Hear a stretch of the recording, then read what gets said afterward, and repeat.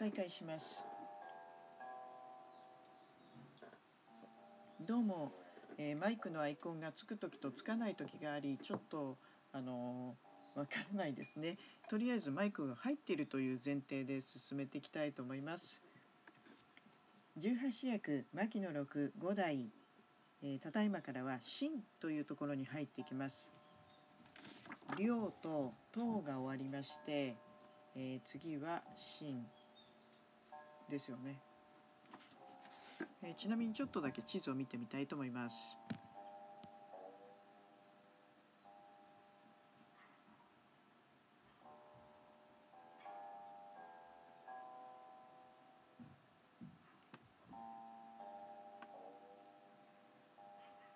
はい、えーと、まずこれが量。えーと、この量の時も秦っていう国はあるんですけどね上の方にありますね。完全にこう群雄割拠してるような時代になってますね。で次が高等この時代ですね。でここから秦秦および漢の時代。こんな感じでございます。え、それではもうテキストに戻ります。18種略牧野六五代秦高祖皇帝ここから参ります。秦の高祖皇帝清和石氏縄系統佐田の人唐の瞑想の聖なりはじめ重家と皆有力あって世を叩こう。瞑想に仕えて皆こうありうちに相意む重家帝と称す。系統加藤より来庁す少佐皆進めてこれをとどめしむ時に久しゅう病んで骨立す当主もって恐れとなさずついに陳に帰ることを得たり。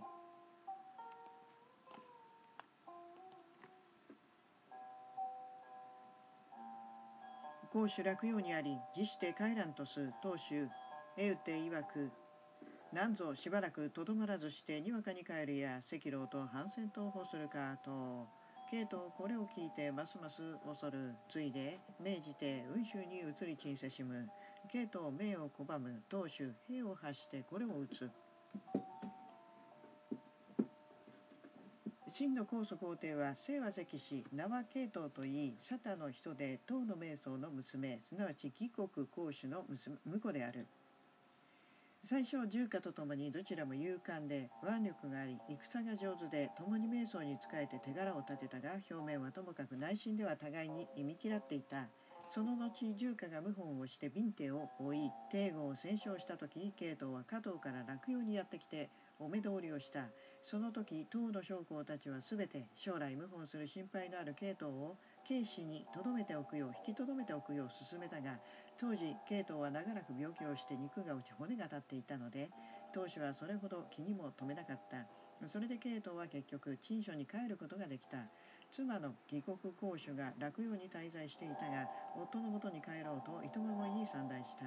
当主は一杯一杯期限でどうしてしばらく滞留しないで慌てて帰るのか亭主の慶東と謀反でもしようと思っているのかと嫌味を述べた。ケイトはそれを聞いてますます恐れた。なんか嫌味っていうのはあのうんと非常に難しいですね。はい置いといて。えーと、間もなく当主は慶東に命令をして陳所を群衆に移させようとしたが慶東が命令を拒否した。そこで当主は兵を繰り出してこれを討伐させた。はい、えー、注釈いきます。サタの人サタとは地名。今の新疆の地トルコ族である西トックツの別部。先ほどもねえっ、ー、と領五代の領の地図を見た時に上の方に北の方に秦という国があってサタと書いてあったと思います。はい、次に骨立骨が立つというのは痩せ衰えて骨の現れること。次恐る恐るっていうのはあのあごめんなさいここあここですね。おもんばかり。あれ？ここじゃなくておもんばかりにして。あごめんなさい、えー、このテキストはあの恐れるとふってございますがん？ここじゃない。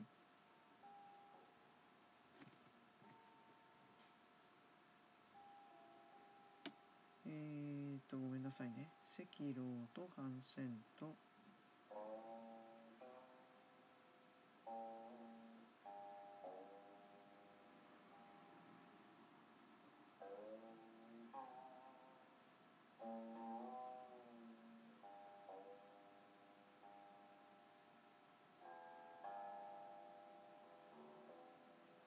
うん、なんかちょっと ちょっと見失っていますがごめんなさい。えっとこの恐れるという字なんですが、おもんぱかりと読む備え用心って書いてありますね。どこの話でしょう？はい、えーそれからですね、赤老というのは、えー、老っていうのは妻が夫を指して言う語。赤老。どこだ？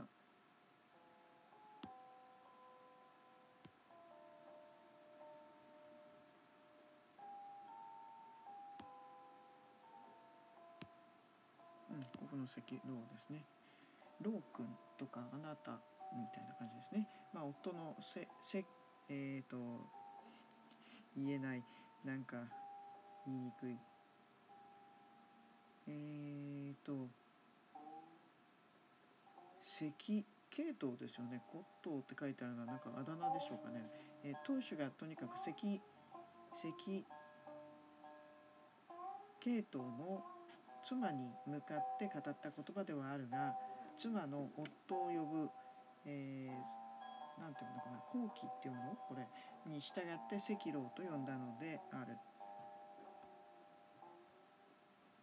うん、なるほどね。はい、続きいきます。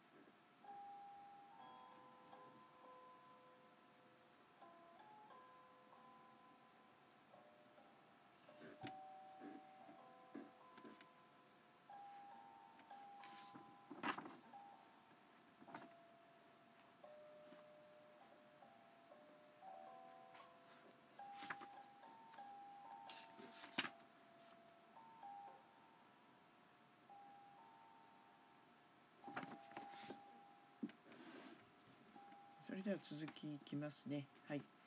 総遺憾、系統のために表をそうして真を喫端に称し、使うるに父の礼をもってす、訳すらく、こと、片場、地を盛んと、はい、小林さん、こんばんは。留置、縁思えらく、えーごめんなさい、留置縁思えらく、甚だ過ぎたり、圧緊迫を舞いなわば、その辺をいたすに足らむ。必ずしも許すに土田をもってせざれ、おそらくは一日大いに中国の憂いをなさんことをと、系統聞かず、兵至る。ひょ、ひょう至るです。ごめんなさい。頑張れ私。えー、き喫端の主、大いに喜び、木五万を率いてきたり、唐の兵と信用に戦いて、大いにこれを破る、喫端の主、系統を立てて、帝となし、帝を真と、じゃあじゃあ国を真と合せしむ。有、慶、縁、えー、じゃあ、有、慶、英、幕、卓、断、順、真、義、樹、武、運、王、官、作、打つの十陸衆を割いてこれにあたう。喫端、新書を得て、えー、新書をも、うん、新書をいて、南に下り、また唐の兵を破ってロ州に至る。喫端、北に帰る。新州、引いて南す。唐の将校、皆城を飛ばしてもって向こう、当主祖す。新州行って、楽に都す。すでにして弁に帰る。系統の真に総遺憾というものがあって主人の系統のために喫端に仕えて兵を借りる上表文を起草した。その内容は喫端に対して真と称し喫端の主に父に仕えると同様の礼をもって仕え約束しももし党と戦って勝った暁には土地を割いて喫端に献じようというのにあった。この文案を見た武将の劉知円はこれはあまりに過分である金銀金箔を賄賂として厚く送りさえすれば喫端の兵を借りるのに事欠かないであろう。何も土地や電池をやらねばならぬと限ったことはあるまい、うん、えすなわちそんなことをしてもし民族を引き入れたならばおそらく後日中国にとって大きな災いとなりましょうと権限をした。しかしケイトはそれを聞き入れなかった。上表軍が喫端に届けられると喫端の主は主は大喜びで自ら5万機を率いて来園し唐の兵と信用で戦って散々これを破った。そこで喫端の主は系統を立てて皇帝とし国を秦と謀させた。秦は約束通り優州慶州英州以下16州の土地を割いて献上した。吉丹の死はなおも秦州を引き連れて南下しまた唐の兵を破ってロ州まで殺到した。そこで吉丹は別れて北に帰ったが秦州は兵を率いて南に向かった。すると唐の将校は我先にと降伏状を送って秦州を迎えた。当主はもはやこれまでと玄武楼に登って自ら焼死した。そこで、えー、秦氏は落葉に行ってここを都と定めたが間もなく弁に帰りこれを合わせて統計とし落葉を政形とした。うん。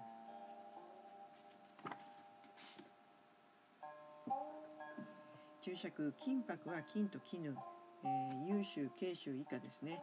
16州。この土地はロ領一道及び岩門。岩門間以北の北の地方である。これが北方侵入の北の恵比寿の侵入の糸口となって後世中国動乱の大きな禍根となるのである。これって円雲16州のことなんですかね、えー、それから非常飛ぶ城というのでどこかにありましたよね。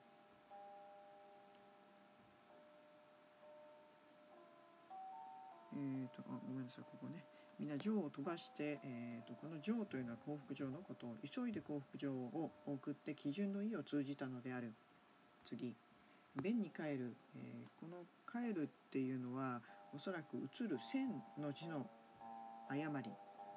ちょっともう一度地図をちょっと確認します。はいえーと、これが真ですね。ここですね。援軍ああやっぱりここですね。援軍16中ここの話をしてるんですね。ここを割譲するというお話ですね。またねちょっとちょっとおかしくなっ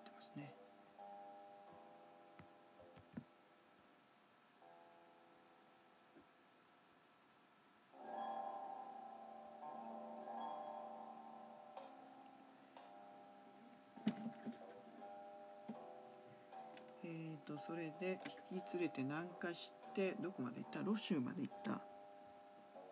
ロシュは出てますかね。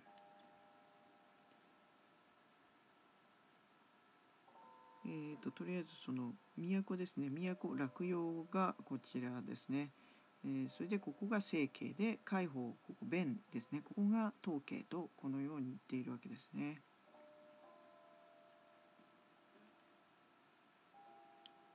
はい、えーと、戻ります。次。五の女地公帝と称しご主婦を報じて上皇となすはじめ上恩地公に命じて召集を納めしむ半歩をいたし上司府上司府社甚だ盛んなり御自ら移ってこれによる地公公領に行って五の祭りごとを助く御出す地公中書令をもって書を陳すしかしてその子をとどめて五の祭りごとを助けしむ。金領城を広む。五地公に大元帥を加え西王に報じ守礼を備う。ここに至ってついに五の譲りを受く。地公は元助手の李氏の子なり自ら唐の後と言いて国を唐と号す。ついで西を李に服し名を弁と改む。これを南東となす。五の女地公は皇帝と称し五種の父父じゃなくて父でいいのか。父を皇太子上皇、えー、譲る帝ですね。上皇の尊号を、ま、立てまつった譲るスメラギの方ですね。帝帝じゃなくて皇の方ですね、えー、最初ジョンは養子の地公に命じ召集を治めさせた。すると次第にその土地が繁華となり人民が富んで市街官庁ともに非常に立派となった。そこで養父の恩自ら少州に移ってその地に住み地公は公領に行って五種の政治を助けた。やがて恩が死ぬと地公は中書令の資格のまま召集を治めそしてその子を公領にとどめて五種の政治を助けさせ召集の首都金領城の大拡張を行った。五種は地公に大元帥の尊号を与え西欧に報じ破格の礼遇を加えた。この時になってとうとう五種の譲りを受けた七号は元助州の李氏の子であるが自ら唐の子孫といって国名を唐と呼んだ。続いて姓を李に戻し名をえーと弁と改めた。これお日様に弁護士の弁ですかね、えー、名を弁と改めた。世にこれを南東という。次。吉丹国を改めて大量と号す、うん、吉丹が国名を改めて大量と称した。えーとそれから瓶の奥義その種の長を死して自立す瓶の奥義というものがその種の長、えー、永久の永にお日様書くやつですね。長を死して自ら立って王となった。次五越王の宣言宣言官出世この交差継ぐ。五越王の宣言官が死んでその子の交差が後を継いだ。次。南関州竜教また名を元と改むついでそす。この貧立つなんか中二病患者が好きそうな字ばっかりですね。何この京とか漢とかこういう字？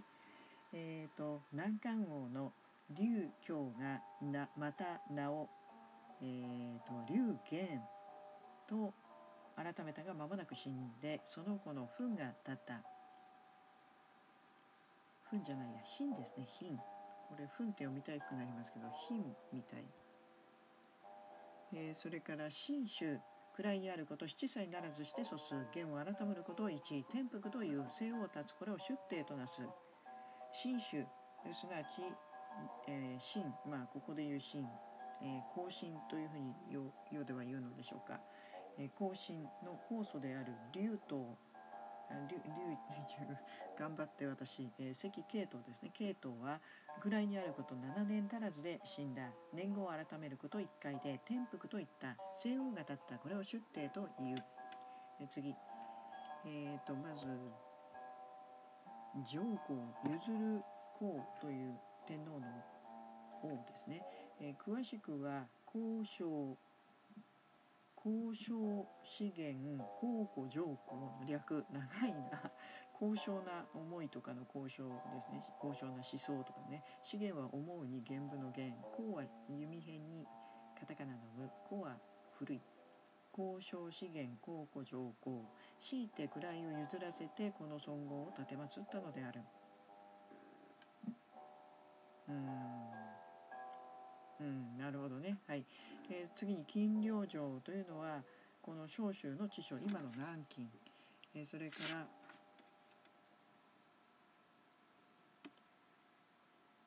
え、っと次にこれは種霊を備う。これもよく出てきますけど種霊。ああれ？とかぼたん変なサムネイルって失礼な。失礼な。小ぼこらですよ。名画でゆりですよ。ほっといてくださいよ。別に欲求不満とかじゃないですよ。何を言ってるんですか。誰も言ってないって、はいえー、守礼というのは剣を帯び靴を履いて上殿し昇殿し入庁するのに走るを要しないなどの特別の礼遇を言う。というわけでございましてもう一度地図確認。ここやっぱ地図見のなんか最近面白くなってきましたね。えっとああそうね。あのなんかねこう、うん、8時間ぐらいで読めるものをガーッと8時間12時間ぐらいで読めるものをですねガーッと読みたいんですけどね。なんか今結局18視略しかうんって感じですね、えー、南東が出てきて南関が出てくるのかな。え、ー、と南南東の話ですね。えーと、今はね秦の話だからここの秦の話ですね。でこの後々あの宋の時代にね、えー、問題となってくるこの円雲十六州ここをですねなんと吉丹にかあの割譲してしまいました。でこの吉丹っていうのが領というふうに国名を変えたと。うん、でまあよいしょなんかこううまく動かなくてもう私困っちゃうんですけど。なんかこううまくピッと動く時と動かない時がこうあるんですけどね。えー、とここね南、えー、と落葉が正形で開放が統計ですね。それからこの5、5っていうのが出てきましたね。ここね。5。えーと、5は誰が、えーと、5はですねえーと、これ普通の5ですね五越王の千玄関っていう人が、まあ、ここに都をしてですねここを治めていると。で南東東も出てきましたね。李なんとかっていう人なんでしょうね。えっと一応南東の話は今出てこなかったっけ？それからですね難関は出てきましたね。難関ここの話ですね、えー、ここで難関は竜居っていう人ですね。はい。それから瓶っていうのが出てきましたけど瓶はありますか？ここにで確認はできますかね？えっ、ー、とちょっとわからないですね。まあでもねあの話からしてまあ南の方にあるんだろうなぐらいですけどね。まあこの南東の都はここですね。南東南東沖縄違う違う戻ります。ちょっとね時間がないので厳しいですね。はい、えー、それで次はですねどこに行った？出廷からですね。はい出廷のところ行きます。もうシュッて名前からしてちょっとやばそうな名前です。いつもより音が大きい、えー、音が小さい。BGM が大きい。なんかねあやっぱりそうなんですね。あのマイクのがちょっと表示されないんですよ。それでおそらくですねこれはその何かの仕様でアイコンが示されないだけなのかマイクが入ってないのかがちょっとよくわかんないんですよね。確認ができなくて。とりあえずもう入ってるものとしてやっていくしかないのでそのようにさせていただいてます。はい。多分あのもう一回リブートをすれば治るんじゃないかなと思います。はい。えーと、出廷いきます。出廷縄長期高祖の兄の子なり高祖終わりに臨んで幼児朝鮮に命じて最小の不動を廃せしめてその法律せんことを発す。慶円光義するに国家難をしよろしゅう長君を立つべきをもってす。ついに長期を立つ円光ことを持ちう。音は聞こえてる。あよかった。あのいつもそういうふうにあの細かいことを教えてくださってありがとうございます。あのそういうのやっぱりね言いづらくて言わないであの、うん、そっとじの人もいると思うので、えーとそういうのねあのちょっとでもおかしいと思ったらね気軽に声かけていただくとこっちは助かりますね。あの対応できる時もできない時ももちろんあるんですけど。はい。えーと、さて、えー、出廷名は長期といい高祖の兄慶樹の子である。高祖は臨終にあたって幼子の、えー、朝鮮に言いつけて最小の風土を廃させ風土が朝鮮を助けた跡目に立てることを願った。ところが高祖が亡くなると縁、えー、慶円光というものが国家多難の際であるからぜひ年長の君主を立てるがよい。と権議をしてとうとう長期を立てた。各手天使擁立の功により円光がもっぱら権力を振るった。結局そのあのなて言うのかなただでさえこう君主を立てるとねそれが長男であってもやっぱりそこでねあの権力を振るうのにそれがね違うところを無理やりこう立てるから余計こう権力がこう小学がね出てそこがまた問題になっていくのかなと思うんですけど置いといてはい、えー、続きまいります。南東州リーベンソえー、じゃあ南東州リベンソスソっていう字を使っているのはあの帝だと正式な帝だと認めてないからですね、えー、この慶立つ南東州のリベンが死んでこの慶が立った次敏王の弟王遠征賢秀によって陰帝と称す。敏王の弟の王遠征が賢秀に立てこもって陰帝と称した。あ賢秀のあたりなんですね。はい。えー、次南漢主劉賓の弟後期賓を支して自立し直せと改む。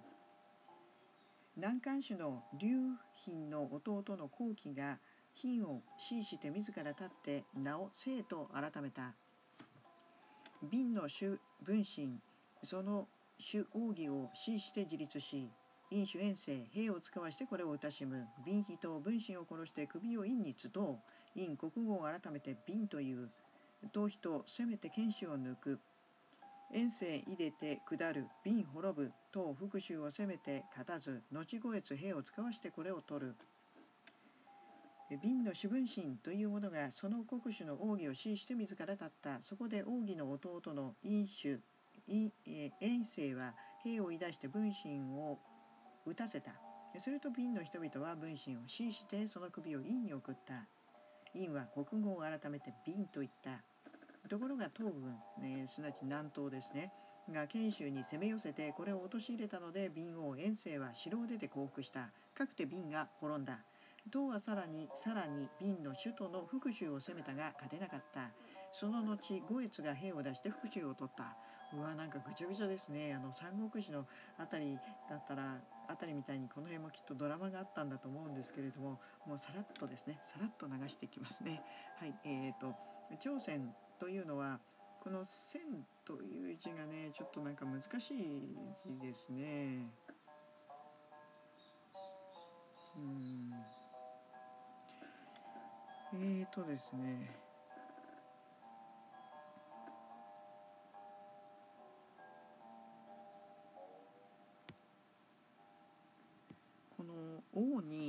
英知の A の作りの部分ですねこれなんですけどこの「王」がないものがあるみたいですね。それから「長君を立たす」立たすっていう「長君を立つべし」長君というのは年長の君主という意味ですね。それから賢秀によりて復讐賢秀復讐っていうのはまあともに今の福建省のあたりですね。はい、えー、続きいきます。はじめ真の構想を喫端に仕えて甚だ慎めり少主の位につくに至って経営縁故義に主として愛を作るにまた真と小説喫端大いに怒る縁故またその海都市を捕らうすでにして帰らしめ体現して曰く帰って汝が主に告げよ先帝は北朝の立つるところなり故に真と少子兵を立てまつれり近所はすなわち中国の立つるところなれば凛となし孫と称すれば足らん。王いからばすなわち来たり戦え。孫には十万の魔剣を横たえて相待つ者なりと。そういかんしばしば損じして持って切ったに斜線とこえども。常に円光の阻むところとなる。最初真の公主は吉丹の援助で天下を取ったから、まあ、あの兵をね借りたわけですね。でその代償がねちょっとねあの普通はいつもだったらお金いっぱいあげるよ機能いっぱいあげるよとそういうことだったんですね。まあ、あのあるいはねあのこれが郷土の方だったら、まあ、娘をやるからですね、えー、そんな感じなんですけれども今回は領土を割譲しますと大きく出ちゃったわけですね。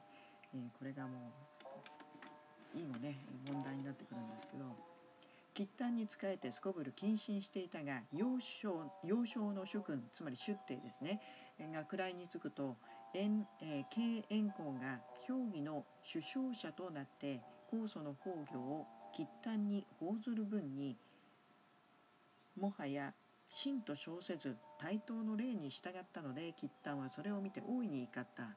えーとまあ、あのお父さんに仕えるようにしますって言ってたので対等の立場にね 本当はまあ対等の立場でも中国ってやっぱりこうそもそも上から目線じゃないですかそれがまあデフォルトなので対等でもねあのまだまだ自分たちであればねそんなにあのなんだろう少し譲ってるんだと思うんですけどね。はい。え、ー、と何？カバタン総末のごちゃごちゃは水光伝で小粒な感じに書かれてるかな？あそうですね。水光伝なんかもその話ですもんね。円雲16州の話ですもんね。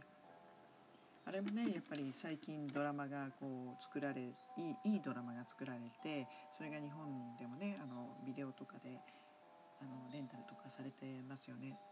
あのなんかドラマなんかテレビとかでもやってたのかもしれないんですけどそれは確認はできてないんですけども。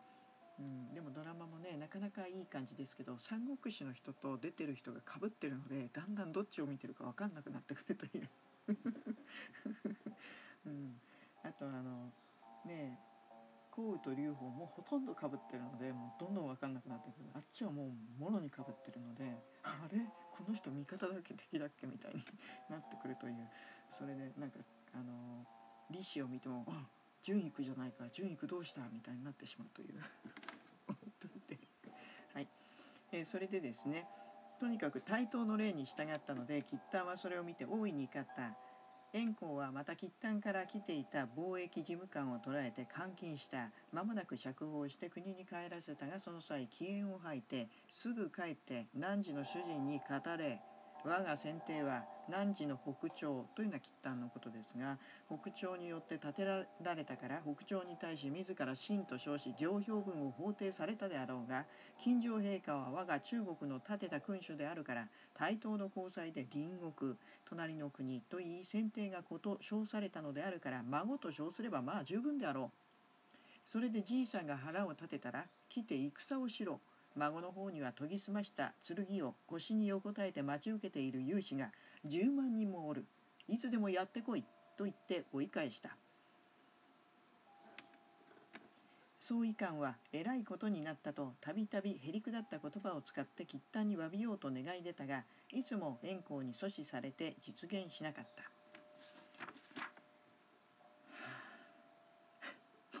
もうなんかためしかため息しか出ないようなこういう外交でございますね。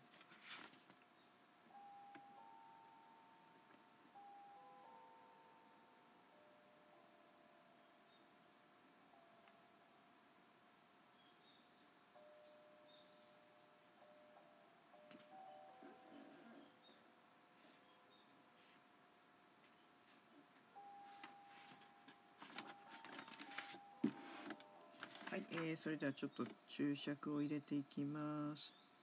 主として義士、主義というのは会議の主導権を握ること。次。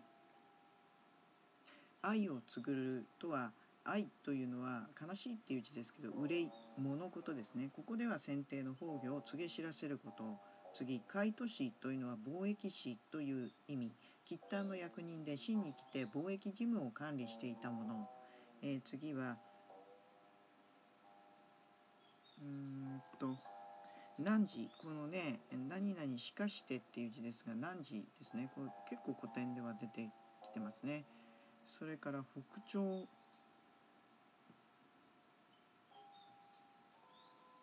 北朝に建てらるというのはえ吉丹まあ今は領というふうに国名が変わってますけれどもそこですね。それから表を立て祭れりえー、表というのは上表進化として君に捧げる上表文を言う、え次孫と称すればたる孫、えー、孫と称するあるいは王いからばと言ってるので、えーと、先手が、ね、吉丹に対してあの親子であると。吉丹がお父さんで、えー、先手が子供ですというふうに称していたからその後を受けてこちらは孫で吉丹はじいちゃんだと。言ってそれで関係それはどういう意味かっていうと、まあ、少し疎遠な関係になりましたよってことを言ってるみたいですね。えしばしば損じしというのは謙遜した工場。まあ、これがどうなるかもそれは分かってもう火を見るより明らかってまさにこういうこと言うんでしょうね。はいここにおいて吉丹入港して川を渡る新種自らショートしおよび李主帝らを使わして道を分かってこれをたしむ吉丹配送す吉丹再び総州に至り引いて帰る。新種また自らショートしてこれを追う。吉丹兵を返して南に下る。新人これを撃つ。吉丹また配送す新州すでに再び叩くお手を燃えらく吉丹恐るるに足らずと吉丹の州退去して入港す真の書を問い下る。一旦兵を使わして弁に入り紳士を捕らえてその国に帰る。位にあること5年。元を改めること1海運という。秦は高祖よりここに至るまで再生。一十二年にして滅ぶ。そこで吉丹は中国に攻め入って黄河を渡って南下した。新州っていうのはこの出港という人ですね。だから出港出廷じゃなくて出港ですかね。えーとまあ、とにかくその人がですね新種が自ら将となりまた李主帝らの将軍を使わして道を分け入って吉丹を討たせたので吉丹は敗れて逃げた。その後吉丹が再び侵入し宗州までやってきたが敗れて引き返した。新種はまた自ら将となってこれを追撃した。すると吉丹は兵を引き巡らして南下してきたが秦軍がこれを打ち破った。吉丹はまた敗れて逃げた。うん、二度あることは三度ある的な。紳士はすでに二度までも戦に勝って吉丹とてそれほど恐れるには足らないと鷹をくくってきたくくっていた。すると吉丹の主は秦軍の油断を見すまし大軍を繰り出して侵入してきた。不意をつかれた秦の将軍トイはたちまち降伏した。吉丹は兵を使わして弁慶に入り、えー、秦主を捕らえて本国に連れ帰った。出帝はここは出帝って書いてありますね。うんえー、位にあることわずか5年戒厳すること1回で海運といった秦は高祖から出帝に至るまで2世12年で滅んだあっという間ですね。え宗州っていうのは曹操宗州小田原東鎮公 宗州は今の河南省の地ですねそれから先兵兵を巡らして兵を返してねえーと、矛先を転じて逆襲に移るとこういうような感じですね。もうちょっと作るもうちょっとかな？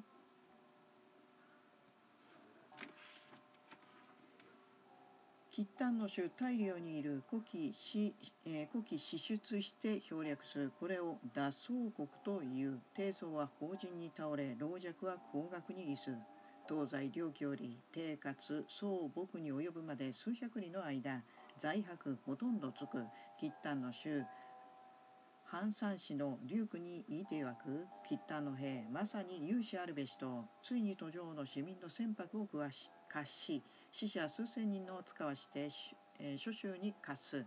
皆迫るに厳重をもってす人生を休んです貸し至るや初めより反求することなし皆連して帰らんと欲す。中外遠分し皆これを追わんことを思う。所在等起こる。吉丹の周曰く我中国の納めがたきことを格のごときを知らさりきと弁におることを三月にして帰る。真の劉知音劉知縁先立つこと一月位に信用につく。吉丹の主は後進の都の大量に入居した入場した。すると吉丹の騎兵は四方に駆け巡って略奪を開始した。これを吉丹語で打走国という。そのため真の若者は彼らの矛先になぎ倒され老人や子供は溝や谷に突き落とされ大量落葉の領土の近郊から帝かつ宋僕の諸州に及ぶまで数百里の間在家建白は大方略奪し尽くされた。それでも飽き足らず吉丹の主は半山市の竜区に向かって我が吉丹の兵はようよう遠征してきたのであるからその慰労として手厚い少子がなくてはならない。早速用意せよと言命した。ところが真の宮中には何一つ残っていなかったのでとうとう大量浄化の市民の、えー、まあ町民というかですね民のですね金銀建白を探し求めさらに死者数千人を派遣し諸州からも取り立てさせた。命を拒む者に命を拒む者には全て厳重な中罰を加えると脅迫したから人民たちは恐れおののいて生きた心地もしなかったかくして取り立てた無数の在家は都に到着したが吉丹の死は最初から兵士に若ち窮する心がなく皆軍に積んで車に積んで本国へ持ち帰ろうとしたこれを見て真の内外の人民は恨み憤って全て吉丹を追い払おうと思い至る所で盗賊が放棄した。吉丹の主が驚いて言うにはわしは中国がこんなに収めにくいものとは思わなかったと弁にとどまることわずか3ヶ月で本国に引き返した。真の劉知円がこれより1ヶ月以前に信用で位についた。これが漢である。注釈。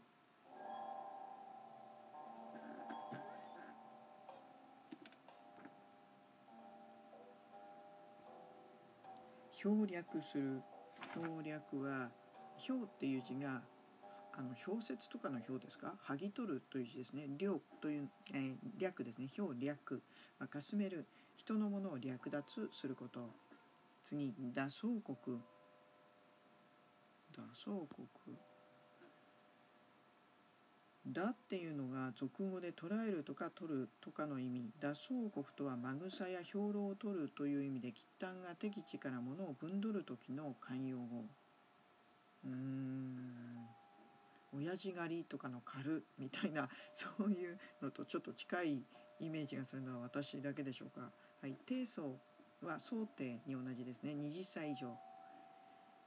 えっ、ー、と法人は矛の先端の刃のあるところ矛先次。工学に医師えーと、いこの委員会とかの委ねるという字ですが捨てると読むんですねここは放任するという意味。甲が溝。学は谷ですね。溝や谷に突き落とし蹴り落として顧みないこと。次東西両旗とは東西の領と2つの都がありますね。えつまり大領というのが東の都で、えー、西家西の都が洛陽ですね。木というのは機内、えーと、王城を中心とした四方500里以内の地を言う。次。反山市とは真の役人。煙鉄会計、えー、タクシーですね。タクシーが会計、えー、それから古部三市の政務を判決する官。次。